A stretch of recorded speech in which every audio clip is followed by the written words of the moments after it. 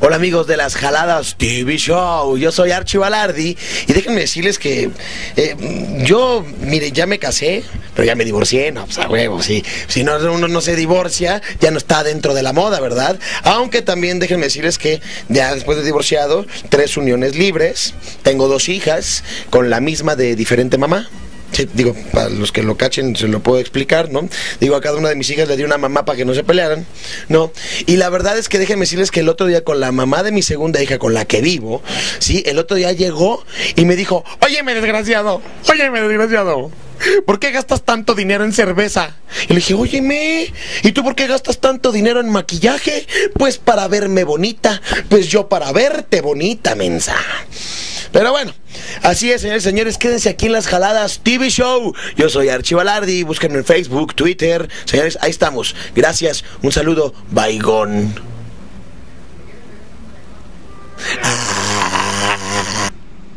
Archie Balardi en las jaladas TV Show. Bienvenido. ¿Cómo estamos, mi hermanito? Muy a todo dar. ¿Qué, bueno. ¿Qué hay de nuevo? Pues nada, aquí, qué bueno que vienes al Distrito Federal con la cámara viajera de las jaladas TV Show. Así es, no, y un honor tenerte, un honor el que participes con nosotros en este programa, un programa que está, gracias al patrocinio, gracias a la gente televidente, hecho para ustedes. No, pues muchísimas gracias. Qué bueno que, qué bueno que te está yendo muy bien por allá, toda la banda del norte, allá con la gente de Mexicali, con los solos de Tijuana. Los cholos, ¿no? Ah, sí, porque yo, pues yo soy bien pambolero, ¿eh? A mí me gusta el fútbol, así de hecho ¿No le vas a la América? No, no, no, no, yo le voy al Atlante, por favor. No, ¿qué, qué, qué te pasa, mano?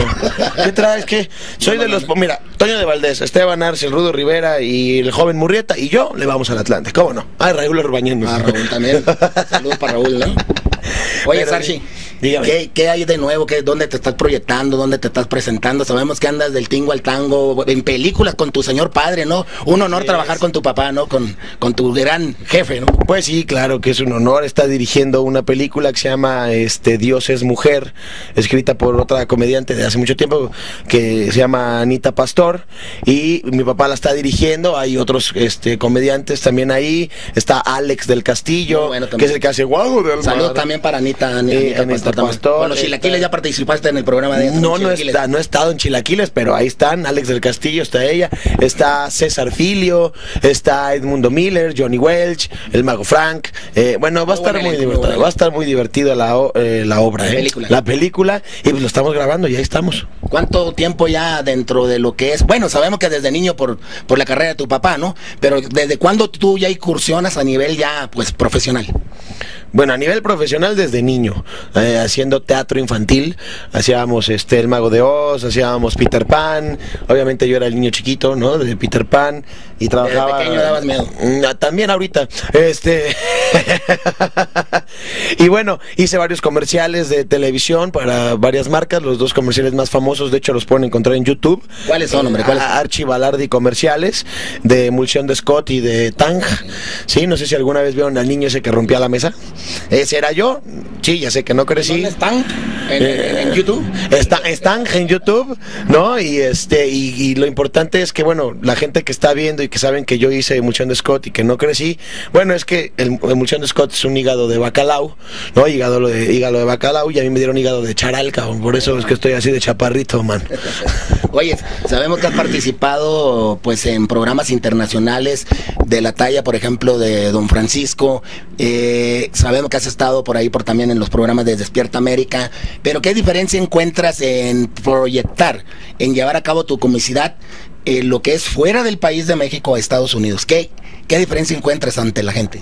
La única diferencia que encuentro es que están ávidos de que haya comedia mexicana en Estados Unidos, sobre todo porque hay mucho mexicano, ¿no? También hay hondureños, nicaragüenses, este, le entran al baile. Sí, que también también les gusta, ¿no? Y también te conocen, ¿no?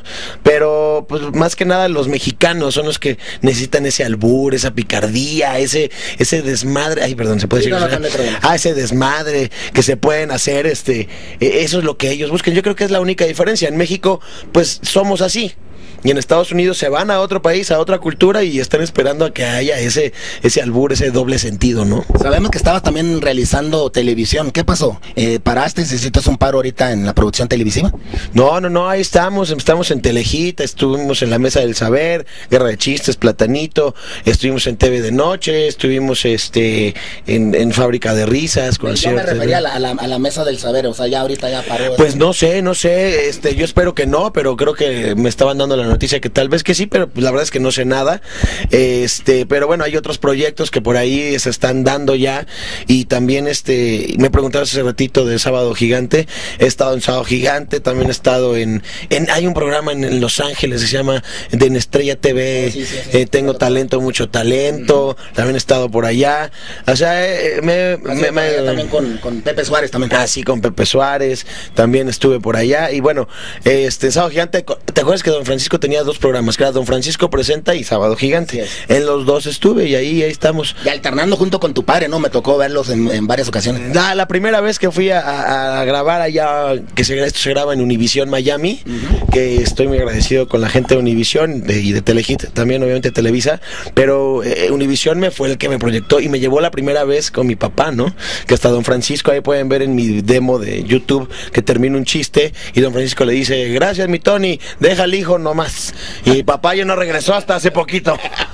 Yo cinco años, imagínate. Sí. Imagínate. Qué gran experiencia, ¿no? Pues sí, imagínate estar al lado de tu, de tu padre, pues es increíble, ¿no? Y luego que mi padre es un ícono. Las tablas, sobre todo, el aprendizaje. ¿no? Así es, así es, aunque bueno, aprendes de todo, ¿no? Pero mi papá es de los de, ah, sí, güey, ¿quieres carro? Trabaje, cabrón, órale, trabaje. A mí, a mí nunca así de que, órale, güey, no, a mí me enseñó, la mejor herencia de mi padre era partirme la madre para trabajar y conseguir mi lanita. Pues qué bueno, ¿no? Porque solamente así es como uno puede avanzar bien, porque si te lo dan todo, pues... Pues sí, como qué que hueva, ¿no? Pues sí, la neta. Así ¿Ya oyeron, chamacos? Pónganse a estudiar. Pónganse a chambear, ¿no? Carajo, de veras. Porque si no es así, son jaladas. ¿no? Esas son jaladas y no TV. Oye, Sarsi, ¿y cómo te preparas, cómo realizas eh, tus sketches, tus rutinas para proyectarlas ante la gente, no? Mira, hay muchas cosas que eh, se dividen.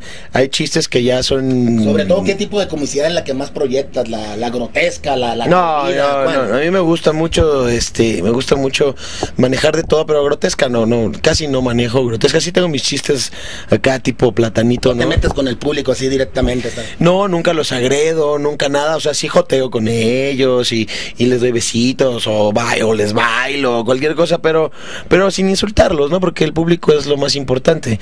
Eh, no soy grotesco, hago stand-up, eh, en algún momento del show combino todo, o sea, cuento chistes que ya muchos comediantes pueden contar, pero bueno, con mi sello, hago stand-up también un poco porque he estado en ese movimiento que ahora hay en México del famoso stand-up con los estandopados que, Sí, sí. que con ellos me eh, empecé el proyecto y me han apoyado mucho también los estandopados. Entonces, eh, hay por ahí he estado en estamparados también con Adal Ramones.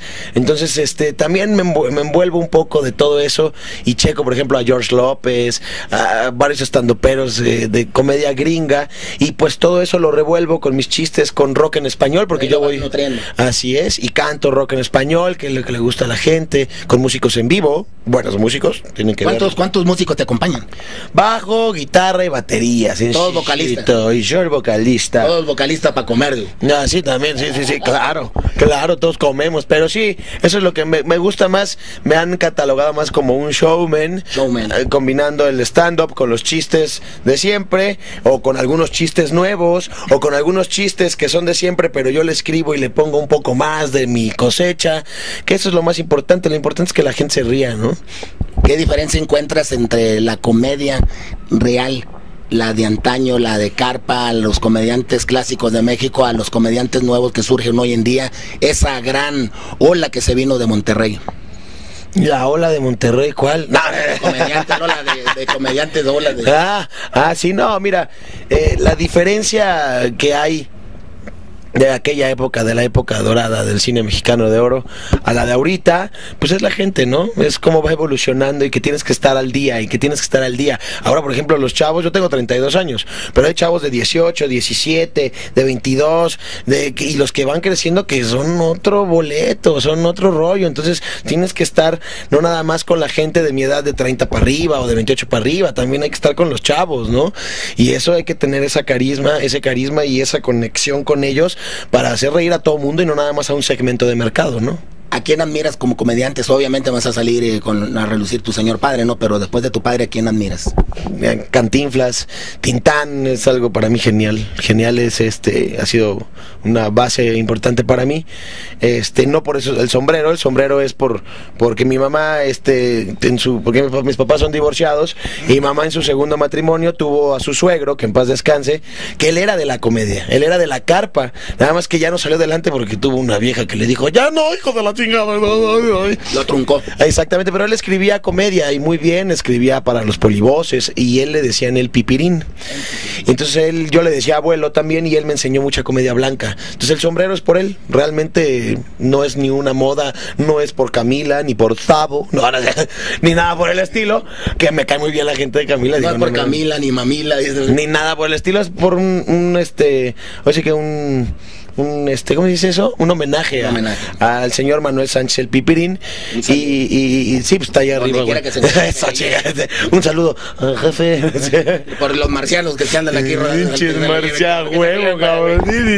Pero eso es por eso, entonces, esos son a los que admiro mucho, Tintán, Cantinflas, y actualmente, bueno, pues actualmente mi padre, y, y pues nada más, ¿no? ¿Te llegó a tocar a participar en lo que es el cine del videohome en la comicidad? Este no, no, de hecho es lo que este el proyecto de la película que estamos haciendo se empezó como video home, pero se ha estado transformando en que ya sea una película bien hecha y derecha, no la calidad del videojuego la calidad de cine, ¿no? Entonces, este, mi papá sí, mi papá sí le tocó mucho, pero a mí no me ha tocado el videojuego. A mí siempre me ha tocado cine, porque de hecho hice un cortometraje en el 2002, en donde fui nominado, fue nominado el cortometraje, dirigido por Miguel Fernández Siches, escrita por él mismo, este, pues ya sabes que ahorita todos somos todólogos, y yo lo actué y fuimos nominados allá en Brasil como mejor cortometraje y yo como mejor actor. Entonces, este, y eso fue en el 2002, imagínate, y fue un monólogo totalmente diferente, ¿no? Entonces, pues ya vamos a meternos también en la actuación, en eso de las novelas, películas y todo ese rollo. A todo hay que entrarle, a todo. Oye, te quiero preguntar, eh, presentaciones aquí en México, temporada, ¿dónde las estás realizando y obviamente al lado de quién? Mira, a mí me este, empezamos, a mí me voy mucho al sureste del país, al norte casi no he ido, he ido a Sonora, he ido a Hermosillo, ido? a Hermosillo y a, no, no, no, donde están las minas, no Cananea, la otra, la de arriba por donde está Esqueda, Esqueda, toda esa parte de allá de, allá arriba, de este que hay unas minas por ahí. Claro, pues tú vas a traer algo, ¿no? sí, no manches, este, pero súper bien, súper bien, nos fue por allá. los chiltepines? Este, me estás sorprendiendo, qué chido. No, por el norte nada más he trabajado eso. Este, ahí Hermosillo y la parte esta de Me voy a comprometer para que próximamente nos visite por el área baja californiana, Mexicali, Tijuana, eh, lo que es el área de San Luis Río Colorado, Sonora, muy buenas plazas para trabajar. Los Cabos, sobre todo. Bueno, Los Cabos sí he ido, fíjate, a Los Cabos sí he ido. ¿Has ido con, el hijo de Lupita D'Alessio? Con... No, no sé, no sé si con, no, no creo que no fue él, pero he ido, fui a la, al Teatro del Pueblo alguna vez hace muchos años, este, que ha sido uno de mis mejores shows, que de mis negocios que di en Los Cabos y para ciertas empresas. A Los Cabos sí, sí, sí, sí he ido, pero nada más a Mexicali no he ido, a Tijuana tengo muchas ganas de ir para ir a ver a los Cholos. Este, no, bueno, o sea, luego te voy a invitar, te voy a invitar en el mes de agosto. Para que subas el calor. 52 años, 52 grados, 53 grados la temperatura, ¿cómo la Me las chelas, hijo. Oye, Sarchi, agradezco mucho tu participación hoy en esta noche mágica llena de luz donde las estrellas brillan y muestran lo mejor de su firmamento, Eh, quiero preguntarte por último algo que desees agregar. ¿Qué le falta a Archie Balardi en estos momentos para estar tranquilo consigo mismo en su carrera, obviamente? No, no, no, no falta mucho falta mucho para que yo esté tranquilo. Cada día eh, estudio, cada día evoluciono, cada día estoy viendo qué hago. Si te diría que estoy satisfecho, creo que, que- que sería un gran error y la verdad es que no. No, no, todavía no estoy satisfecho. Yo creo que voy a estar satisfecho hasta que me muera y todavía en las cenizas voy a decir, todavía me falta un chingo. Así que no, no, no, me falta mucho por conocer, por, por, por hacer reír a mucha gente y por irme renovando más y más para los shows. Ya no le pones. No, no, ahora nomás le quito. A huevo. Oye. De hecho, yo nunca le he puesto nada. Una persona con mucho talento, con mucha entrega, mucha energía, pero sobre todo con mucha humildad. Él es Archie Balardi. Un gran honor tener- tenerlo aquí con nosotros en las Jaladas TV Show. De verdad. Aquí tienes una mano sincera, una mano amiga. Muchísimas gracias. Esperamos tenerte muy pronto por allá, por aquellas áreas baja californianas, para que sí. puedas proyectar lo mejor de ti. Listo, listo. Sí, y, a ver sí. cuándo, y a ver cuándo podemos hacer un, pro- un programa especial con tu papá y contigo. ¿no? Ah, estaría buenísimo, claro que sí, vamos a checarlo. Y bueno, pues si quieres, ahorita que den corte, te proyecto lo mejor de mí, gordo. Claro que sí. Yo invito a que usted se quede con nosotros en este superameno programa, un programa que está, gracias a ustedes, situado donde muchos, pero muchos quisieran estar. Esto es Las Jaladas TV Show. Las jalanas Jimmy Show, no, no le, le cambies.